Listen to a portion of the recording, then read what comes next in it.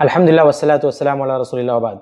آج ہم انشاءاللہ ایک حدیث دیکھیں گے عید کی تکبیرات سے متعلق اور اس کے بعد ہم انشاءاللہ تکبیرات عید کے کچھ مسائل پر بات کریں گے.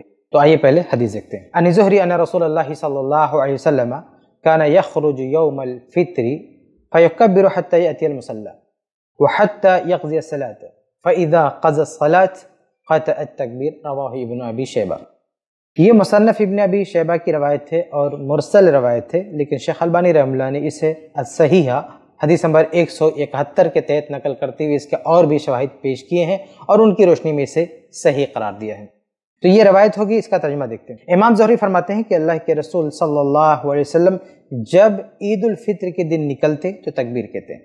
یہاں تک کہ عیدگاہ تکبیر کہتے کہتے پہنچ جاتے اور یہاں تک کہ آپ نماز پڑھ لیتے جب آپ نماز پڑھ لیتے تو آپ تکبیر کہنا بند کر دیتے تھے۔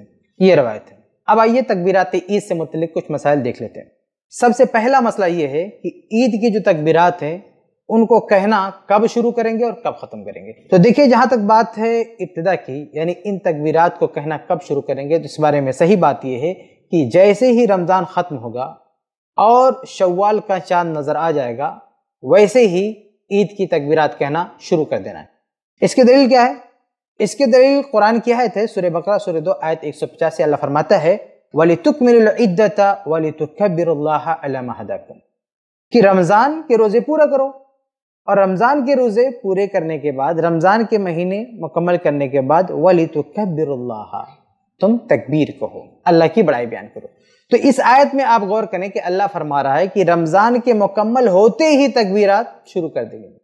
تو یہ آیت اس بات کی دلیل ہے کہ رمضان ختم ہوتے ہی اور شوال کا چاند دیکھتے ہی عید کی تکبیرات کہنا شروع کر دینا ہے۔ اس کے علاوہ امام تبری رحم اللہ نے تفسیر تبری میں عبداللہ بن عباس رضی اللہ عنہ کا ایک اثر بھی نقل کیا۔ اس کے الفاظ ہیں کہ حق علی المسلمین اذا نظروا الى حلال شوال ان یکبر اللہ حتی یفرغوا من عیدہم۔ یعنی عبداللہ بن عباس رضی اللہ عنہ فرماتے ہیں کہ مسلمان جب شوال کا چاند دیکھ لیں تو تکبیر کہنا شروع کر دیں، یہاں تک کہ عید سے فارغ ہو جائیں۔ تو اس اثر سے بھی پتہ چلتا ہے کہ شوال کا چاند دیکھتے ہی تکبیر شروع کر دینا۔ لیکن یہ اثر ضعیف ہے۔ البتہ قرآن کی جو آیت پیش کی گئی وہ کافی ہے۔ یہ استعلال کرنے کے لیے کہ جو ہی رمضان ختم ہوگا، شوال کا چاند دکھے گا، ہمیں تکبیر شروع کر دینی ہے۔ یہ تو بات ہوگی کہ تکبیر کہنا کب شروع کریں گے۔ اب دیکھتے ہیں کہ تکبیر کہنا ختم کب کریں گے۔ تو اس کے بارے میں صحیح بات یہ ہے کہ عید کی جو نماز ہے، جیسے وہ نماز شروع ہوگی، تکبیرات کا سلسلہ بند ہو جائے گا۔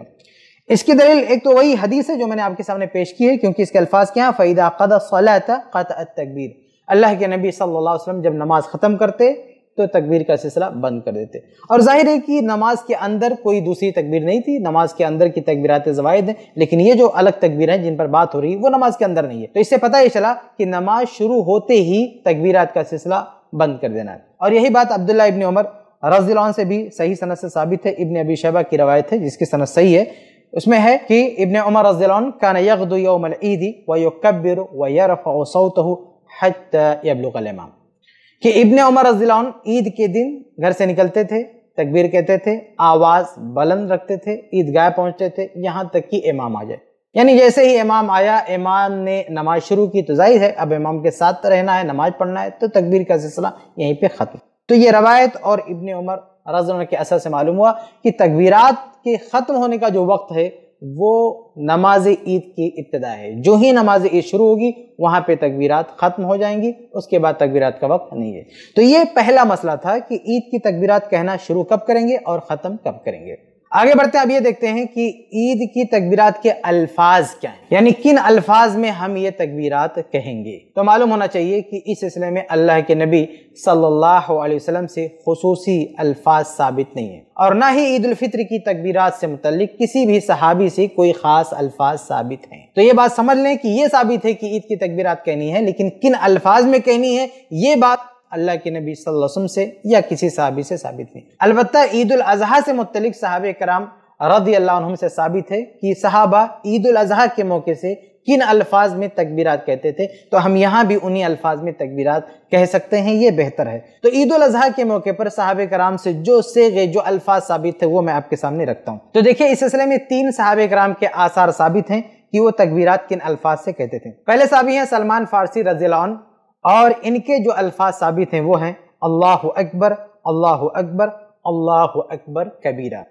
یہ مصنف عبد کی روایت ہے، اس کی سند بالکل صحیح ہے، بلکہ ابن حجر رحم اللہ نے اس سلسلے کی ساری روایات میں اس سند کو سب سے زیادہ اصح اور سب سے بہترین قرار دیا ہے۔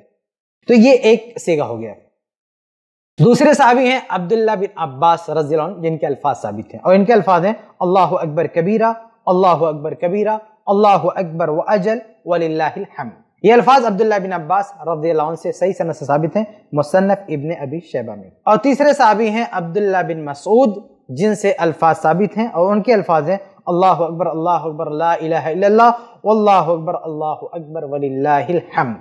اور یہ الفاظ عبداللہ ابن مسعود رضی اللہ عنہ سے مروی ہیں، مصنف ابن ابی شیبہ، اور بہت ساری کتب حدیث میں۔ اس کی ساری سندیں ضعیف ہیں، لیکن ذوق بہت ہی ہلکا معمولی ہے، اس لیے یہ روایت کم از کم حسن لگیری کے درجے پر ہے، اس لیے یہ الفاظ پڑھ سکتے ہیں۔ تو یہ تین سیغے ہیں جو تین صحابہ کرام سے مروی ہیں اور یہ تینوں ثابت ہیں۔ ان تینوں میں سے جو چاہیں پڑھیں، یہ بہتر ہے۔ تو یہ بات ہوگی تکبیرات عید کے الفاظ سے متعلق کہ کون کون سے الفاظ سے ہم تکبیرات کہہ سکتے ہیں۔ اب آئیے دیکھتے ہیں کہ تکبیرات کون کہے گا۔ تو دیکھیے، عید کی تکبیرات سب کو کہنی ہے، چاہے مرد ہوں، چاہے عورتیں ہوں، حتیٰ کہ عورتیں چاہے پاک ہوں، چاہے ناپاک ہوں، یہ تکبیرات سب کو کہنی ہے۔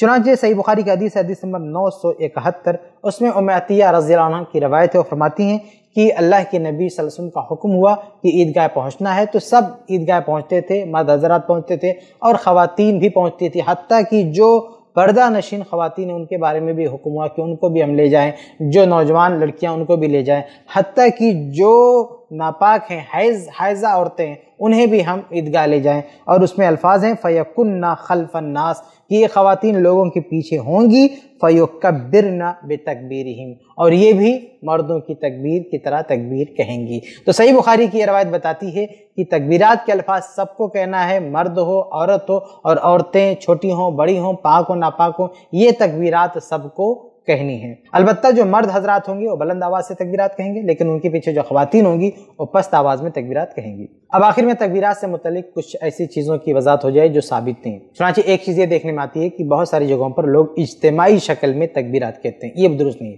یعنی ایک آدمی تکبیر کہلواتا ہے اور سارے لوگ اس کے ساتھ مل کے تکبیر کہتے ہیں، یہ ثابت نہیں۔ اجتماعی شکل میں تکبیرات کہنا یہ کسی بھی حدیث سے ثابت نہیں۔ اس لیے ہر فرد کو اپنے اپنے اعتبار سے تکبیرات بلند آواز سے کہنا چاہیے۔ ایک اور چیز کی وضاحت بات ہو جائے کہ تکبیرات عید سے متعلق تکبیرات مقید اور تکبیرات مطلق کی کوئی تقسیم علماء کی یہاں نہیں ہے۔ دیکھیں عید الاضحیٰ سے متعلق آپ کو یہ بات ملے گی کہ علماء وہاں تکبیرات کی دو قسمیں بتاتے ہیں، تکبیرات مطلق، تکبیرات مقید۔ لیکن وہ بھی ثابت نہیں ہے۔ صحیح بات یہ ہے کہ عید الاضحیٰ کے موقع پر بھی تکبیرات کی یہ دو قسمیں کرنا کسی بھی صحیح حدیث سے ثابت نہیں ہے۔ لیکن بہرحال علماء کی جو بھی بحث ہے وہ عید الاضحیٰ کی تکبیرات سے متعلق ہے۔ لیکن عید الفطر کی تکبیرات سے متعلق علماء کی ایسی کوئی بحث بھی نہیں ہے کہ یہاں کچھ تکبیرات مطلق ہیں یا تکبیرات مقید ہیں۔ اس لیے ان تکبیرات کا کوئی خاص وقت نہیں ہے۔ جیسے شوال کا چاند دیکھیں گے، عید تک اس بیچ میں جب چاہیں، جیسے چاہیں تکبیرات کہیں گے۔ خاص طور سے جب عید آگاہ کے لیے نکلیں تو بلند آواز سے ہمیں تکبیرات کہنی چاہیے۔ یہ چند مسائل تھے عید کی تقویرات سے متعلق جو آپ کے سامنے رکھے گئے۔